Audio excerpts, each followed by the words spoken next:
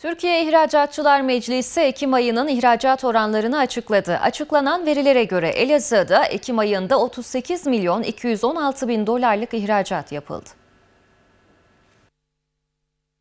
Türkiye İhracatçılar Meclisi Elazığ'ın Ekim ayı ihracat rakamlarını açıkladı. 2022 yılı Ekim ayında Elazığ'da 37 milyon 366 bin dolar ihracat yapılırken 2023 yılının aynı ayında ise 38 milyon 216 bin dolarlık ihracat yapıldı. Elazığ'ın ihracat oranında geçen yılın aynı ayına göre 850 bin dolar fark oluştu. Elazığ Ekim ayında 38 milyon 216 bin dolarlık yaptığı ihracatla Türkiye genelinde en fazla ihracat yapan 41. şehir oldu. Türkiye İhracatçılar Meclisi'nin açıklamasında Elazığ'da en çok hangi sektörlerde ihracat yapıldığı da tespit edildi. Araştırmaya göre Ekim ayında Elazığ'da en çok madencilik ürünlerinde ihracat yapıldı. Bu sektörde yapılan ihracatın tutarı 14 milyon 96 bin dolar oldu. İkinci sırada ise 2 milyon 520 bin dolarlık ihracatla mobilya, kağıt ve orman ürünleri geldi. Üçüncü sırada da 574 bin dolarla kimyevi maddeler ve mamulleri geldi.